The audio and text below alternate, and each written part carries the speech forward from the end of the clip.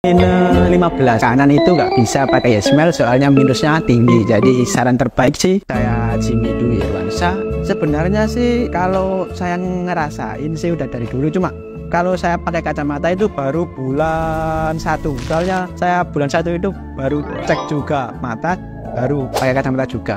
Nggak saya rasain sebenarnya dari dulu. Udah capek pakai kacamata ribet.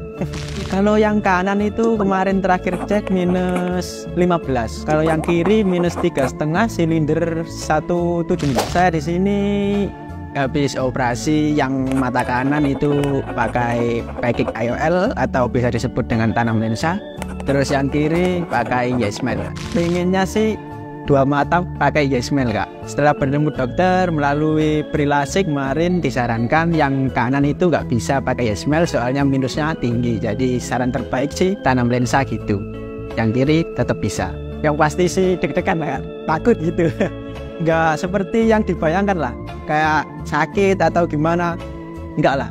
Cuman berapa menit udah selesai gitu kayak gimana ya terharu lah Wah, sangat beda kak. Saya terasa terlahir kembali kak.